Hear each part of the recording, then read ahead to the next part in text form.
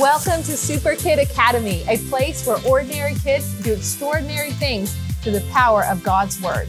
We meet every Sunday morning at 9 a.m. for Sunday school, and our main service begins at 10 a.m. We also have Wednesday night programming that starts at 7 p.m., where our students receive hands on training and experience. They do arts and crafts, learn how to operate cameras, sing, cook, prepare and write sermons, and many more exciting things. Make sure to come and visit Superkid Academy.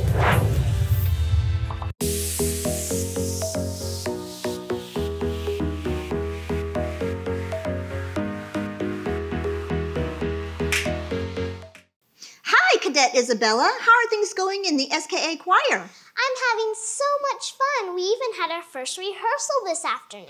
And that went well? It did, for the most part.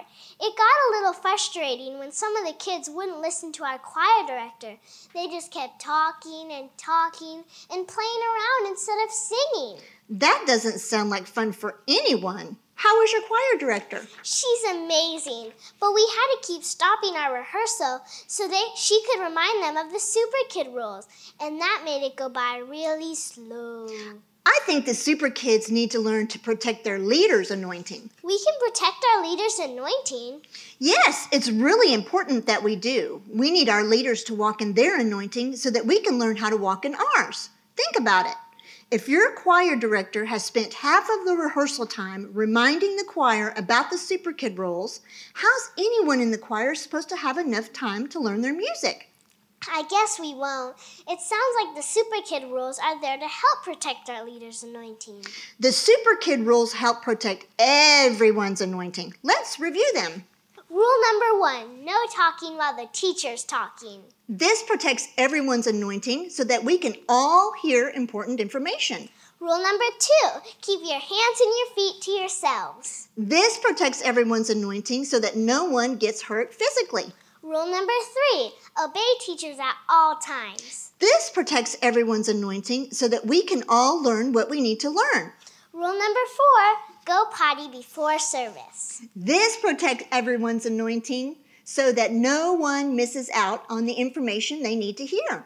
Rule number five have fun. This one's great because walking in your anointing is fun. God created you to be you, and it's fun serving Him. It sounds like the Super Kid rules are there not only to protect our anointing, but our leaders as well. You got it.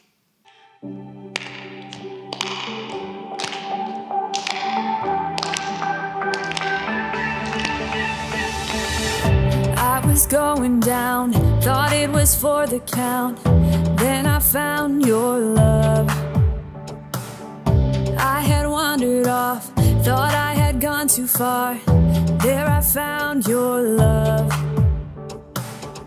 Fear I used to know can't stop me anymore. Cause I found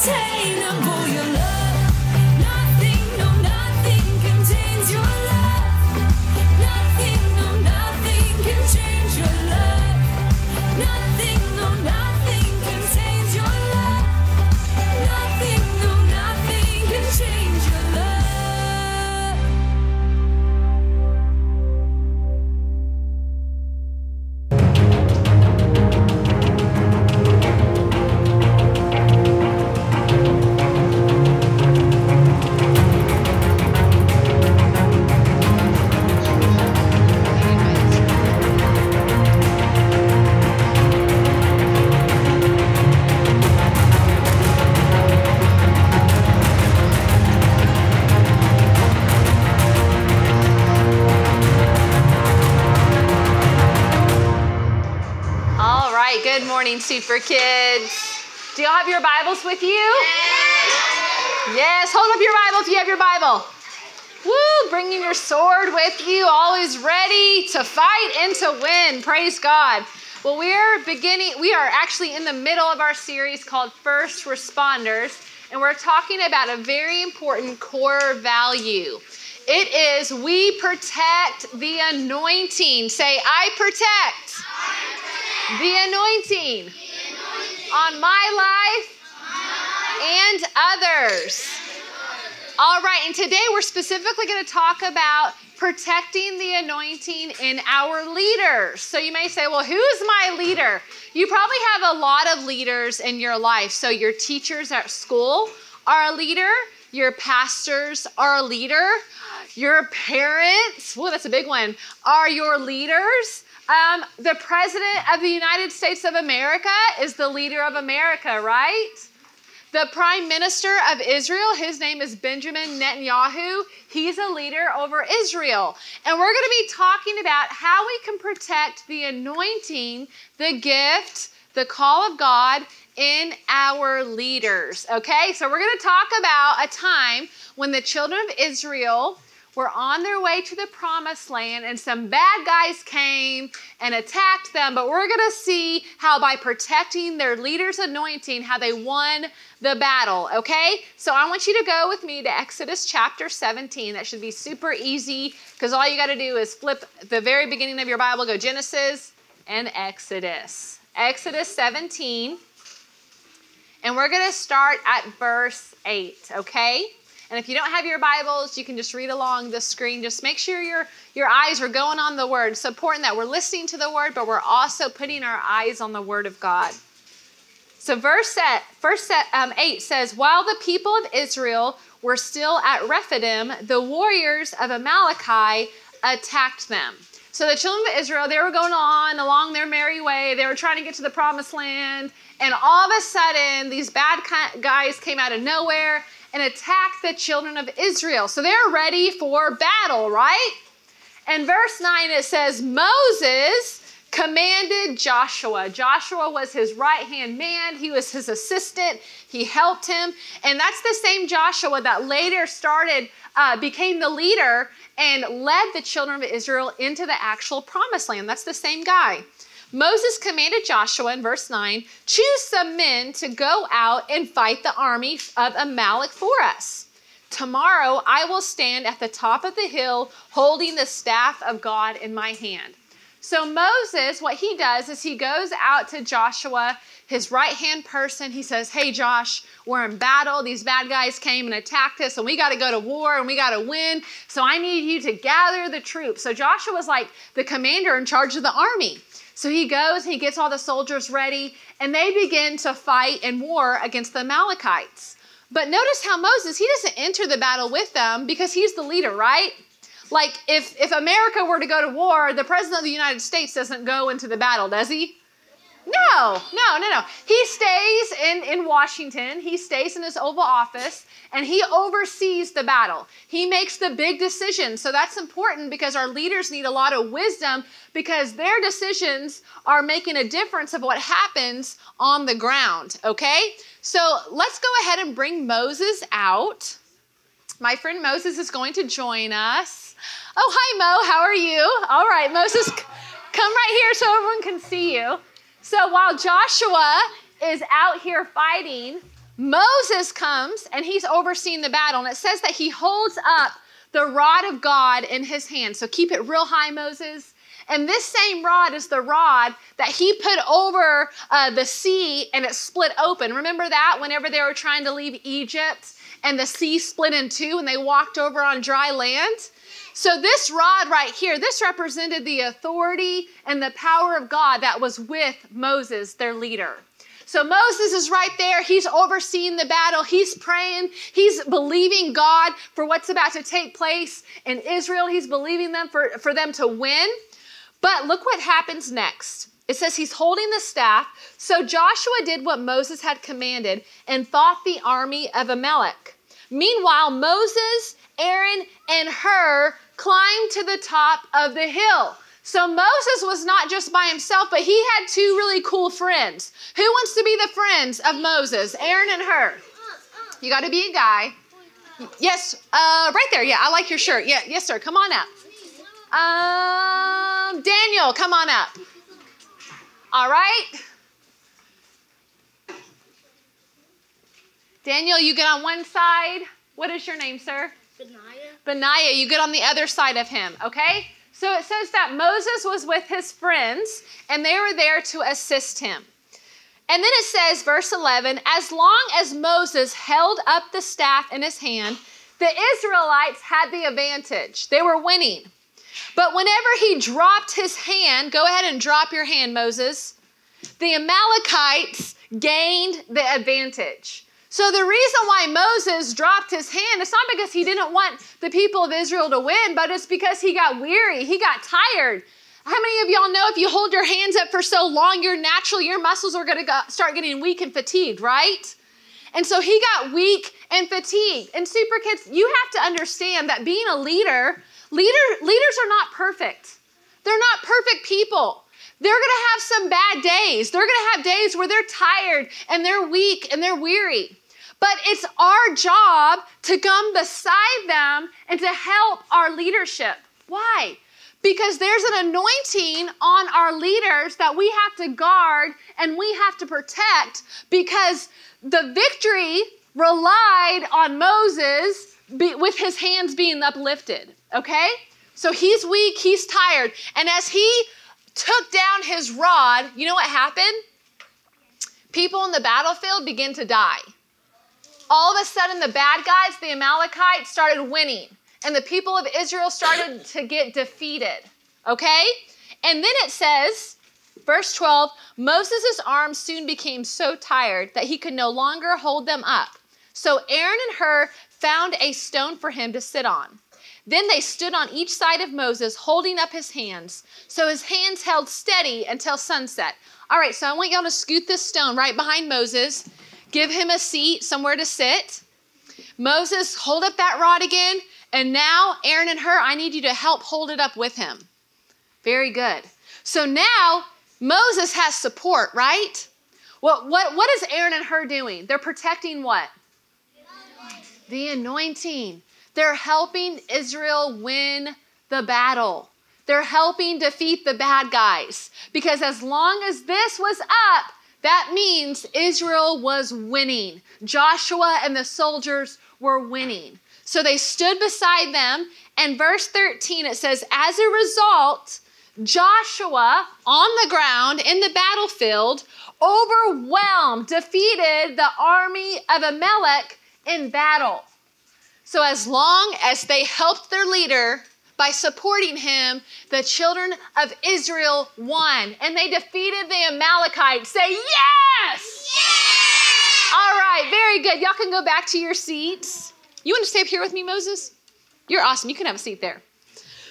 All right, so it says after the victory, the Lord instructed Moses write this down on a scroll as a permanent reminder and read it aloud to Joshua. I will erase the memory of Amalek from under heaven. Moses built an altar there and named it Yahweh. So go ahead and bow down. Can you bow down on, on the stage? Yep, just bow down. Go ahead and bow down like you're worshiping Jesus. Okay, very good. So Moses, he bowed down, he worshiped the Lord, and it says he built an altar there and named it Yahweh Nisi, which means the Lord is my banner. He said, They have raised their fist against the Lord's throne, so now the Lord will be at war with the Amalek generation after generation. So, what, what, what, God was saying is that Moses, they came against you, they came against my people, so forever I will be at war against your enemies. So, we see, super kids, that in the Word of God, that anytime that people came against Israel or were mean to Israel, God fought for Israel. God defended Israel. Why? Because God loves Israel. And it's our job to support the Jewish people. Just how Aaron and Hur came and helped lift this rod and helped their leader today, we're going to have an opportunity because I want all of us to pray for the peace of Israel. And I want us to specifically pray for their prime minister, who is their leader. His name is Benjamin Netanyahu. Can you say that? Benjamin. Y'all, oh, y'all are great. Go ahead and put his uh, picture on the screen. So, this is the prime minister of Israel. He's like what President Biden is to America. He's like a president, but they call him prime minister, okay? He has a lot of decisions to make, he needs a lot of wisdom. He needs a lot of understanding. Why? Because there's always people that are going to hate Israel and try to come against them, and we need to pray for them. So, ushers, go ahead and pass out those flags. And this flag right here, what flag is this? The Israel flag. The Israel flag. And the reason why we're passing them out to the middle section, unfortunately, we don't have enough for everybody, but we're passing them out because I just want this to be a point of contact of the people of Israel. That we are lifting them up in prayer, that we are pa- praying for their peace and their protection. And Psalms 122, verse 6 says, Pray for the peace of Jerusalem. So we're going to pray for their peace, and we're going to pray for the leader, Prime Minister Netanyahu. Thank you so much, Moses. You can go backstage and you can uh, get changed there, buddy. You're amazing. All right, so now who wants to help me pray? Be up here and pray with me. Gracie. All right, Gracie, I'm going to let you hold the Israeli flag. Come close to me. Okay, and let's everyone stand up. Let's show honor to the Lord, okay? And I want you to look at Prime Minister Netanyahu, okay? I want I want him to be in your heart as we pray, okay? So Father, right now, let's just let's just reach our hands toward, towards him right now. Father, right now we pray for Prime Minister Netanyahu, God. We pray for the peace of Jerusalem. We pray for the peace of the children of Israel, the women, the children, the babies, and the dads, and all the soldiers, God. And I pray that you give their prime minister wisdom, that you give him understanding, that you give him direction, and everything that they need to do, God. And we, as Superkid Academy, we stand with Israel. We love Israel and we love the Jewish people because you love the Jewish people. And God, we thank you for the miraculous things that you have done for the Jewish people. And we thank you for miracles happening again, happening again in the land of Israel. And we thank you that today, that Prime Minister Netanyahu, he does not feel alone. But I pray that he feels your presence, he feels your peace, he feels your direction, God, and that you speak to him. You speak to him from heaven itself, God. You come down and you fight for Israel and you defend Israel like you have always done before. In Jesus' name, amen. Praise God, super kids. Way to go. Thank you for praying. Thank you so much. And remember, y'all can continue to pray for Israel. This is not just a one time thing that we want to do this, but the Bible says that Israel, the people, the Jewish people, Jesus came from the land of Israel, that they're the apple of his eye. They are precious to God, so that me and you need to constantly remember them and we need to pray for them. Amen? All right, super kids, thank you so much for joining us. Remember that God loves you, we love you, and Jesus is Lord.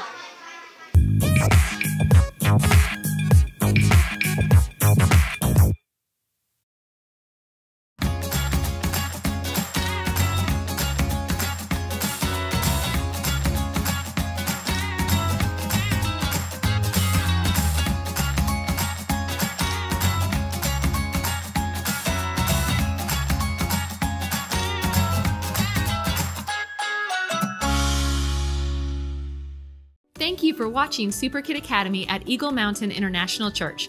Kids, with your parents' permission, visit us on Instagram, Facebook, and YouTube. You can also visit us in person on Sunday mornings and Wednesday night services. We'll see you next time at Superkid Academy.